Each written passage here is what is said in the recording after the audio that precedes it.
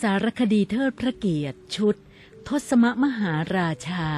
สายทานพระเมตตาสู่แผ่นดิน การศึกษาณโรงเรียนจิตรดา พระบาทสมเด็จพระเจ้าอยู่หัว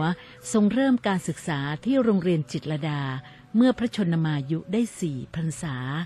ทรงเรียนวิชาคำนวณได้ดีกว่าวิชาอื่น ๆ มักได้คะแนนเต็มเสมอ วิชาที่โปรดอีกอย่างหนึ่งคือ วิชาวาดเขียนและปั้นดินน้ำมัน ทรงปั้นรถยนต์และเรือรบได้เหมือนมาก เมื่อได้รับพระราชทานเครื่องใช้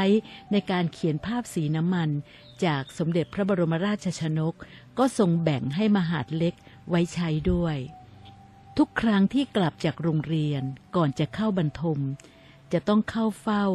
สมเด็จพระบรมราชชนก และสมเด็จพระบรมราชชนนี